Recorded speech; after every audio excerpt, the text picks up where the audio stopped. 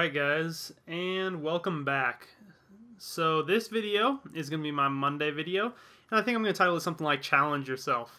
This is the class I'm going to be using, what's on screen, FAL, Grenade Launcher, Quick Draw, Crossbow, Tribolt, with a Tactical Insertion and a Semtex. And you guys are probably thinking like, what the hell are you using right now? Like, I, I never use any of these things. and and that's kind of the point of this video, is we're we all kind of realize that this is the dead time in Call of Duty.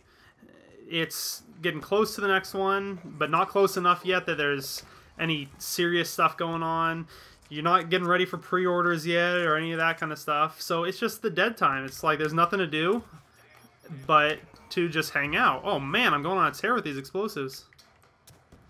And so this video is about challenging yourself, how you can continue to have fun with Call of Duty even during the dead time. I'm calling it Challenge Yourself because it's about doing challenges in Call of Duty. We all know there's those little calling cards that you can collect and emblem items you can collect as you complete new challenges. This is kind of all this class is for, is I don't use tactical insertions often. I don't use the grenade launcher almost ever or the tri I'm trying to get all my achievements done for my attachments. I've already got all diamond guns. I'm trying to go for all the attachments, and all I have left are these two. So that's what I'm doing. Um, this is a live com if you were wondering, so sometimes I get a little scatterbrained while I'm talking and playing. But the point of this is go for some challenges. They're built into the game for a reason. It makes it a little bit more fun. It gives you something else to think about. It's kind of I kind of think of it like a mini game. You just you're not just playing Call of Duty and trying to win the match. You're trying to, you know, oh maybe I'm trying to get my counter UAV challenge or the Guardian was a really hard one for example try to go for some some of the challenges in game because they're things that we normally wouldn't do, and by following those challenges, you will challenge yourself as a player, and probably end up having some fun with it. You know, I almost never use the grenade launcher. In fact, I think the grenade launcher in Black Ops 2 is kind of underpowered. You have to be pretty close to him in order to get the kill. But the... Oh boy. Oh no, I need to get the toss back. Oh, You'll notice I was trying to get that toss back because I'm still trying to get that challenge. The I don't even remember what that challenge is called. See, like right there, I felt like that grenade launcher shot was pretty close, not close enough. So I encourage you guys to try getting your guns gold. I have all my guns diamond at this point in the game because it's just been so long. Tried to seal his kill and missed. um, so I've got all diamond guns. I've got almost all my attachments done except for the Tribolt and the grenade launcher.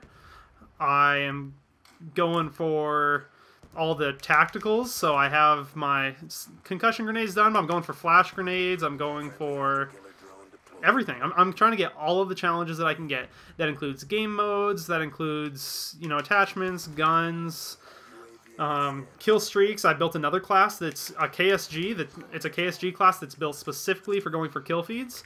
So for that one, I'm trying to get the you know eight or nine kill feed challenge, whatever it is. Oh, that's my teammate. I don't need to shoot him. Um, and so, so build classes that aren't like tryhard classes. Build classes that are catered towards doing different challenges. Sometimes it's fun to even not do challenges that are in game, like the title challenges, but it's also fun to do challenges like with your friends. Occasionally, me and some of my clan members will say, "All right, let's do executioners only and search and destroy, and see who comes out best." And we'll just see who plays the best with just the executioner and stuff like this, even though it seems kind of trivial, is really neat. It's it allows you to become a better player.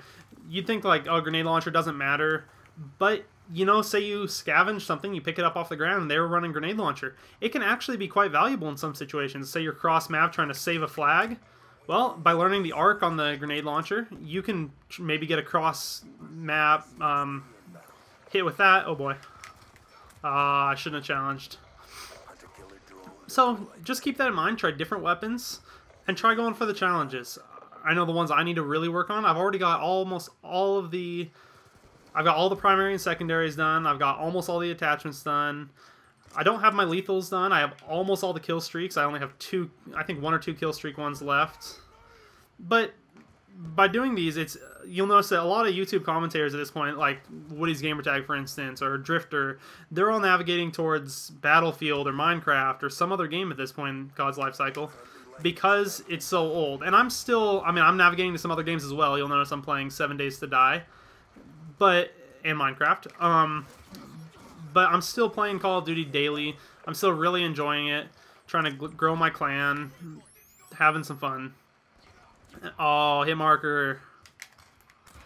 So, I guess that's pretty much all I wanted to talk about in this commentary. Just challenge yourself, do the challenges that are built in game, challenge your friends, go for high score per minutes, high kill feeds, go for fun things that you wouldn't normally try. They'll keep the game interesting. They'll make you a better player because by using these diverse guns, especially with Ghosts coming up, you're not going to be familiar with the new guns and Ghosts. So by becoming familiar with things that you're already have access to, that'll allow you to become more adaptable going into Ghosts. Anyways, guys, that's all I have for you today. I think I laid down a pretty decent game for that weird class, two Bloodthirsties and a triple kill. Um, if you did enjoy the video, make sure to like, favorite, and subscribe.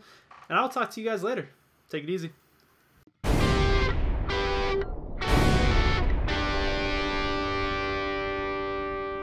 Welcome to the end of the video. If you've made it this far, maybe I deserve your like. You can click that down below.